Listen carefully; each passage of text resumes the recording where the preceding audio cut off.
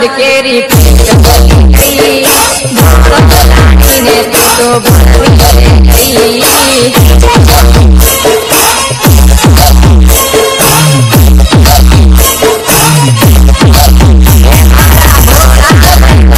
केरी पीठ बली